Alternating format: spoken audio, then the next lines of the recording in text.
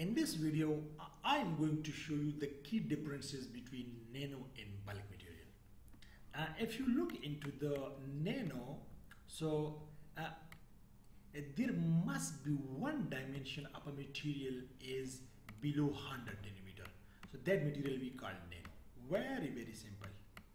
If you see a material whose one dimension is below 100 nanometer, for example, x-axis, y-axis are z-axis, so you can call that a nanomaterial, right? Uh, how about the bulk? The bulk means that uh, a material whose not a single side lies below 100 nanometer, so that we call bulk material, mean that is out of range of nano. So now let's go here and see, this is basically a nano material. If you look into the scale here, so this is in nano here, you see here, so this means that uh, uh, if you see the small uh, wire here, so the dia or the radius you can see it is uh, almost below 100 millimeter. So you can call this nanomaterial. But if you look into this one, so the scale is in micron and none of, none of single dimension uh, is below 100 millimeter. So this is why we call bulk material. Now let's see the differences here, right? Uh, let's see first the nanomaterials. So if you are talking about the pros and cons of a nanomaterial, so uh, it should be the reverse for a bulk material. So this means that in this video when we discuss about the advantages of nanomaterial, so this means that uh, those advantages or the disadvantages of the bulk material, right? So let's first talk about the nano, right? The first and foremost thing is uh, in nanomaterial is high specific surface area. This is the key parameter, this is the key property of a nanomaterial. This means that meter square per gram. Uh, if you take a powder uh, nanomaterial and uh, for instance if I talk about graphene, so graphene is 1000 uh, meter square uh, per uh, gram. This means that if I take 1 gram of a graphene material and if I lie it on the surface, I spread it on the surface, so it will cover 100 square meter in outside. This means that uh, this if we suppose that this is uh, this one one side is 100, this one side is 1000 meter. One side 1000 meter, another side 1000 meter. So one gram of graphene uh, will aquify will cover uh, this much area. This is we call specific surface area. Okay, so this is a good property. Uh, uh, of a nanomaterial. Uh, because of this uh, property, we need small material. We need small amount, right? now, let's see the second effect is called quantum confinement effect.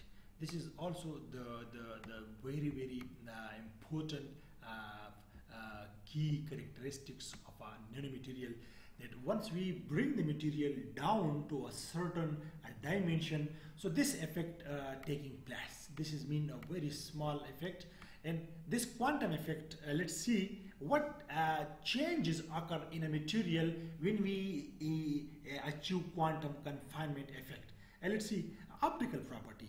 You change the optical property. For instance a material um, absorb certain uh, radiation, certain radi wavelength radiation or certain frequency like X-ray or uh, ultraviolet are visible. And when we have this uh, effect, so you can change this optical property, right? Similarly, electrical properties, similarly magnetic properties. So with the help of uh, this effect, you can change the optical, electrical and magnetic properties of a material, nanomaterial, right? Let's go to the third property of a nanomaterial.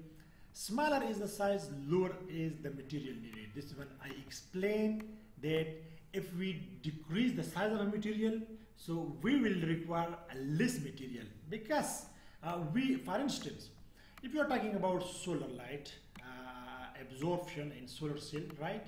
So uh, here we need a material to absorb uh, sunlight, right? So if we keep here bulk here, let's suppose if we keep it bulk here, so there is only uh, the top surface uh, exposed to the sunlight. So the rest of the material is just useless. This is why we bring the nanomaterial uh, so that the nanomaterial has a smaller surface area. So it will expose to a, a, a large surface area and just uh, we bombard or shine the light and it will absorb and it will give us electron in those kind of stuff right? So smaller the size lower the material need. This is very understood. Why if somebody asks you you need to give the example of uh, surface area meter square per gram. Just give the example okay? So bulk uh, is uh, there it is inside a volume we, we don't need those stuff. And we just need a surface. We just need the surface activation energy and those kind of thing okay? The last one is mechanical strength. It's a very key point. Uh, the mechanical strength uh, is significantly increases as the size of a component make it making it decreases. Look, this is a very uh, tricky point. Uh, let me give you the example of this leaf right here's my cursor. This is the leaf here okay? This is the midrib and this is the leaf here right? I don't know how to draw properly. This is the leaf right? Yeah I draw very well well, well good yes. This is the leaf right? So you just tell me uh, which part of the leaf is thicker and which part of the leaf is thinner? The midrib is thicker. As we understood. The midrib is uh, very very thicker. thick so here it means that it require more material right? But if you look into the these boundaries the periphery the, these these uh, these arteries or these veins so these are uh, uh, uh, thinner right? Yeah this is thinner this is understood these are thinners. Just you tell me which one is more uh, strong uh, flexible the midrib or the, the, the, the boundary of the leaves in these areas? The boundaries. You see mechanical strength significantly increases is the size of a component making it decrease if we here we uh, use less material. Here we use a lot of material. So here we use a lot of material. So this means this uh, is not mechanically strong. The strength mechanical strength means uh, if you put some uh, load or something it will break. But here it will not break it will not be because we use less material. So when you when we use less material so the the mechanical strength is uh, higher or increases at uh, so this was all about the uh, difference between nano and bulk materials. Now you just count these stuff. For example for bulk bulk has a, a low specific surface area. It's very understood.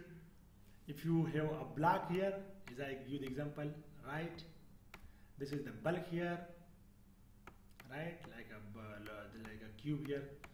This is the bulk. And you just see the surface area. Uh, this top surface area surface area. Now you break this into four pieces. You increase almost fourfold. Not fourfold more than that. Increase more than that.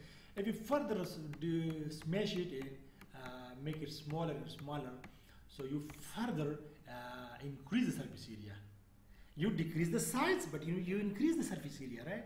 And there is no quantum confining effect in a bulk right? So you cannot change these properties. So you when you cannot change these properties you cannot get the desired uh, result in applications right? The third one is uh, larger the size uh, more the material need. It's very understood just like I give the example of midrib right?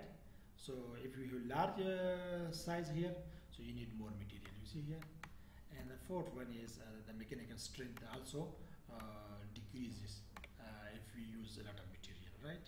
If you use the material uh, smaller so uh, less uh, the, the material less material so the, there is a more mechanical strength.